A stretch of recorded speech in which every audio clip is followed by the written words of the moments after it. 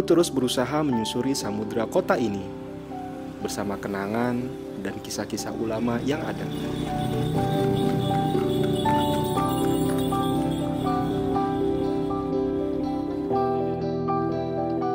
Dan sekarang sampailah kita untuk mengenal sosok yang sangat aku kagumi. Nama dan senyumnya masyhur di masyarakat Indonesia, terlebih khusus di kota Surakarta. Beliau adalah Al-Habib Anis bin Alwi Al-Habsyi.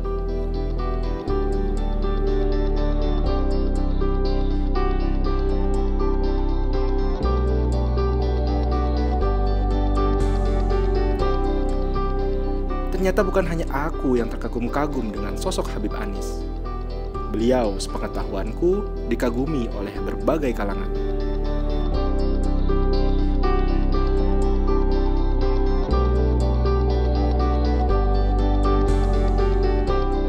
Beliau adalah khalifah leluhurnya di Indonesia.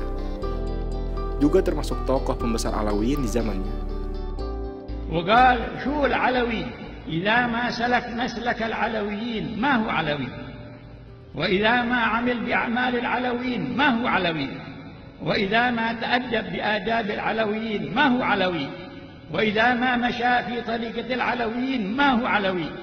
وإذا ما تخلق بأخلاق العلويين ما هو علوي؟ من با يقع منين با يقع في العلا وهو في الأسفل؟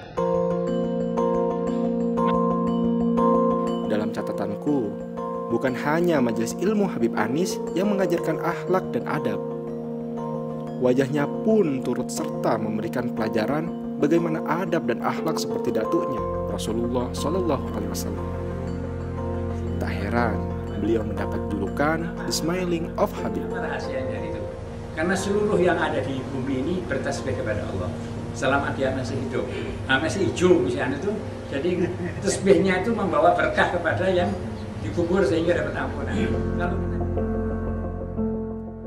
Habib Anis lahir di kota Garut dari pasangan Al-Habib Alwi bin Ali Al-Habsyi dengan Habibah Khadijah binti Ali Al-Qadri yang masih memiliki garis keturunan dengan Sultan Abdurrahman Al-Qadri di Pontianak.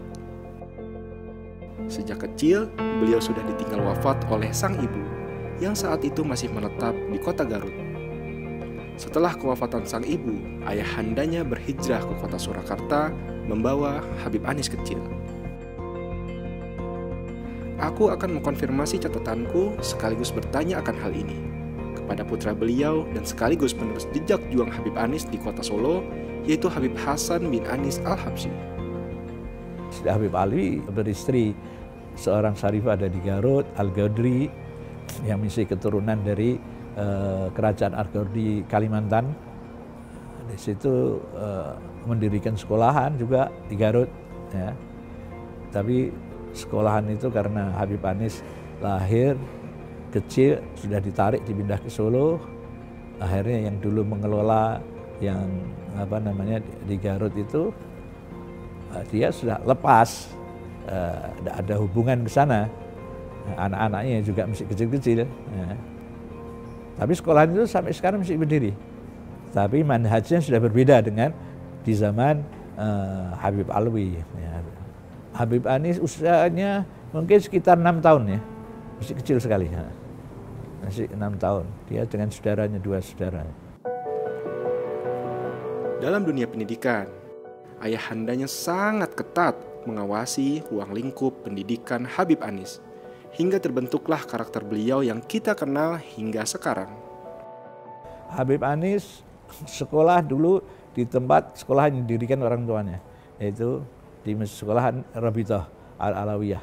Di situ eh, di sekolahan itu ndak terus dia dididik sama uh, Habib Ahmad bin Husain Al-Attas. Nah, Habib Ahmad bin Husain Al-Attas itu mesti cucu dari Habib Abu Bakar, Syekh Futuhnya Habib Ali. Ahmad bin Husain bin Abdullah bin Abu Bakar Al-Attas. Nah, dia dididik di situ. Nah, di zaman itu supaya sama Habib Ali itu ada yang tidak banyak. Ada yang dikirim ke Hadramut, belajar di Hadramut. Tapi Habib Hussein bilang ini Habib Anis di sini, insya Allah saya didik tidak kalah sama orang-orang yang berangkat ke Hadramut. Nah, jadi belajar di tempatnya Habib Ahmad bin Hussein. Itu yang pernah kita dengar, itu Habib Ahmad itu bukan orang yang kaya. Tapi setiap muridnya itu hatam kitab, maka beliau ketika itu menyembelih ayam untuk apa makan-makan, makan enak bersama dengan para muridnya. Itu dakwahnya seperti itu, gurunya Habib Anis. Sehingga murid-murid yang belajar di sana pun juga akhirnya semangat belajar. Kenapa? Karena kalau hatam dapat hidangan makan daging yang enak ketika itu. Di tahun 1953 Masehi, setelah kewafatan ayahandanya, Habib Anis tampil menjadi penerus juang dakwah menggantikan sang ayah. Di kala usianya yang terbilang sangat muda, namun kapasitas ilmu, pengalaman, pribadinya sudah terbentuk sebuah karakter yang sangat kuat. Semua ini karena didikan sang ayah. Eh, ketika Habib Alwi meninggal, itu anaknya yang laki yang paling besar Habib Anis yang ada di Indonesia ya. Yang paling besar Habib Anis dan umurnya juga masih muda, umurnya 24 tahun.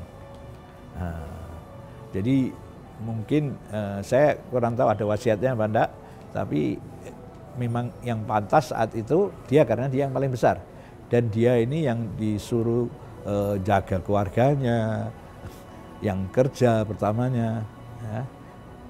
Ya yang menghidupi keluarganya itu.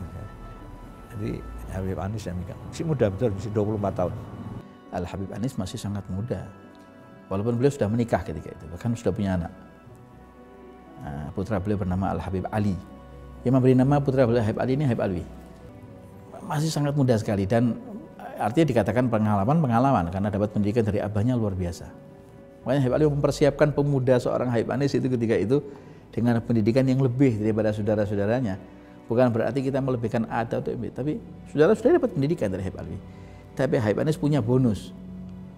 Bonus pendidikan beliau, Habib Anis, Ustaz Abu Bakar bin Ahmad bin, bin Ahmad bin Ali bin Muhammad Al-Habsyi, Ustaz Muhammad kadalik, Ami Ahmad Salmin Doman Al-Walid, dan masih banyak yang lain di antaranya. Ami Abdullah, eh, kakaknya Abah itu juga sama seperti itu.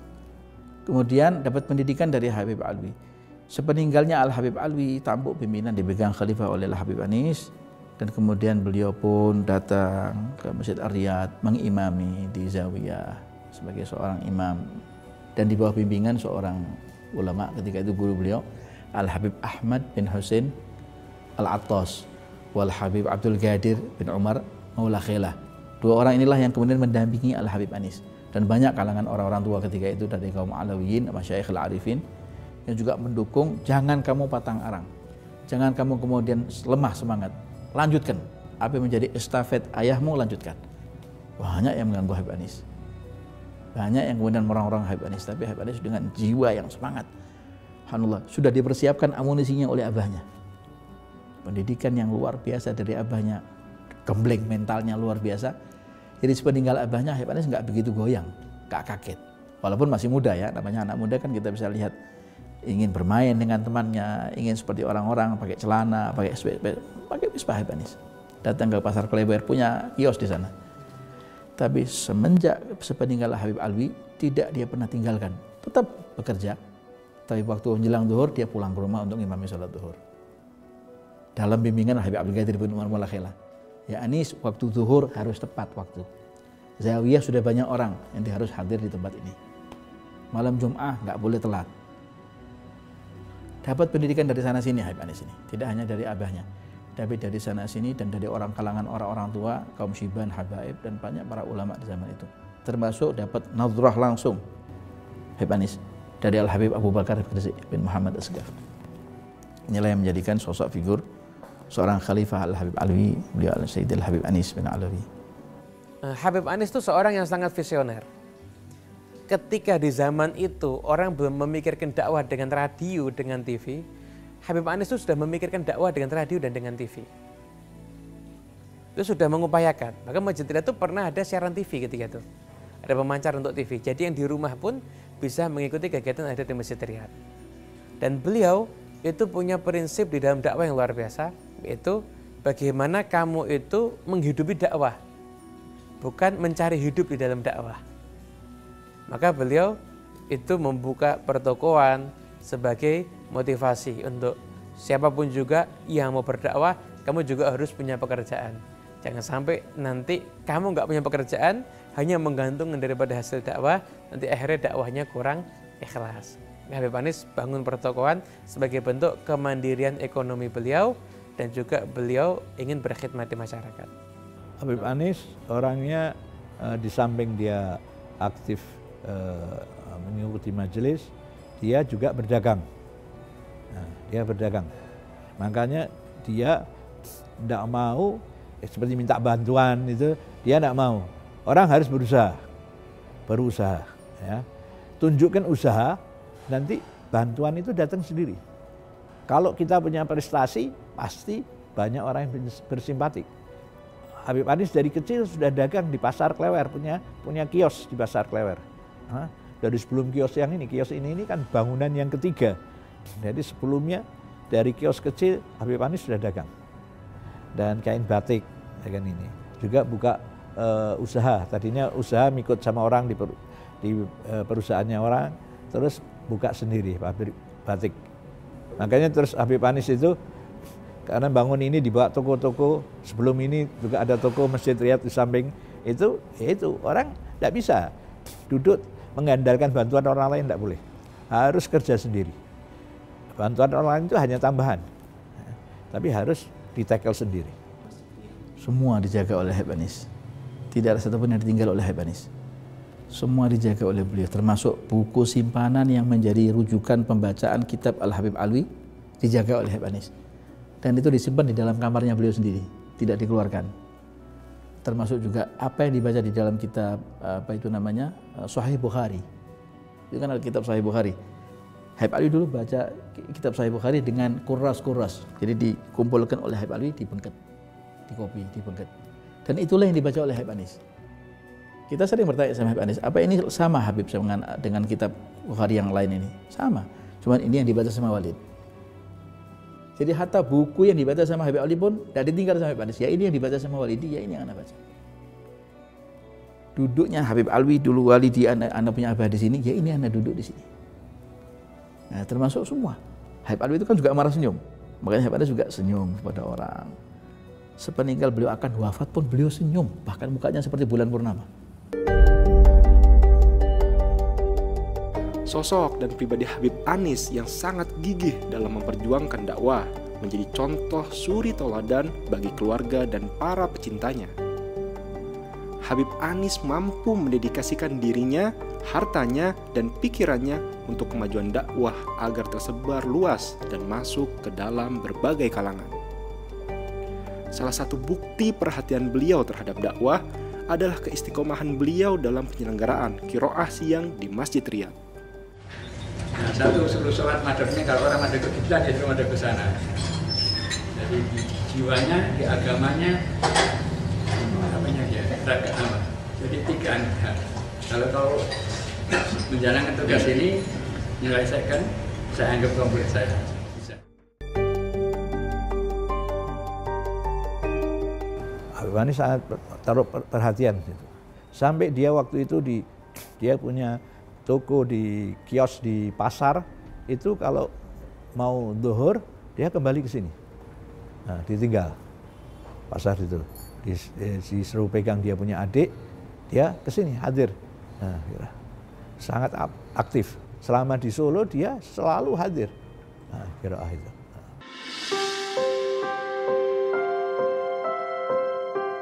Seperti inilah sosok Habib Anis. Beliau sukses membuat sebuah lingkungan yang kuat secara duniawi dan juga kuat secara ukhrawi.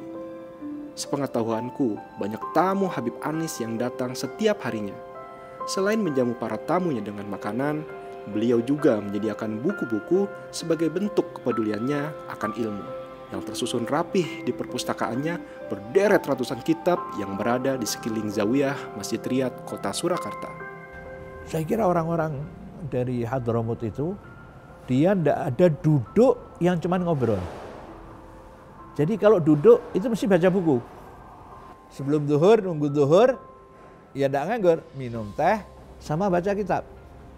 Ya, baca kitab. Pelajari bareng, baca bareng. Yang tahu ada salah dibetulkan sama yang, yang lebih tahu. Ya, yang seperti itu. Itu saya kira ya sejak ya Habib Alwi masuk ke Solo saya kira. Ya, cuman dulu kan tidak langsung di sini tinggalnya. Jadi dia banyak menyediakan kitab. Kata dia, orang belajar harus sama guru, tidak boleh belajar sama kitab. Tapi karena guru sudah berkurang, ya, yang dia istilahnya harapkan itu berkurang, ya dia banyak baca kitab. Ya, jadi kitab-kitab yang uh, samping Habib Anis sendiri beli atau yang saya kirim itu pasti biasanya di belakangnya itu ada catatan San pakai pensil itu. Dia halaman gini ini. Apa yang dulu mungkin dia terkesan atau hal yang mungkin nanti dia mau nyari eh, perbandingan itu dicatat di belakangnya itu. Itu yang baca buku. Ya, terakhir itu baca buku sama menyalin uh, kitab uh, dari zaman Habib Ali itu kitab wasaya atau apa yang tulisan tangan. Tulisannya tangannya kan dulu mungkin kalau orang yang tidak biasa baca kitab bahasa Arab mungkin kesulitan. Jadi disalin sama dia. Beli kertas, tapi tidak boleh mengandalkan kitab. Baca kitab, baca kitab eh, sebanyak-banyak mungkin. Ya. Tapi tidak boleh mengandalkan sama kitab. Jadi hal-hal yang mungkin ditemukan di kitab yang baru, yang iskal harus ditanyakan. Nah, sebab dia di lemari dia itu ditulis man syaikhuh kitabuh akhta'u aktar min sawabuh. Jadi yang syekhnya itu kitab, kesalahannya lebih banyak daripada yang betul. Nah, karena uh, kitab ini kan macam-macam. Hingga pada tahun 2007, setelah gegap gempita kegembiraan di Hari Raya Idul Fitri, Habib Anis wafat meninggalkan segala peninggalan dan juga kenangan. Demi Allah saya katakan semenjak ada Habib Anis, tidak pernah saya merasakan hidup di dunia. Nikmat yang ada, haul itu rasanya lain. Bertemu dengan tamunya, menyapa tamunya, semua orang yang kecil, yang muda, yang tua, yang perempuan, yang laki merasa dekat dengan Al Habib Anis. Disapa. Semua beliau disapa, yang alim, yang tidak alim, semua disapa. Itulah istimewanya menurut saya ya. Mungkin itu masih di bawah jauh jadi mereka-mereka yang pernah bertemu dengan Al Habib Anis, sosok beliau seorang figur seorang Habib Anis bin Alawi Al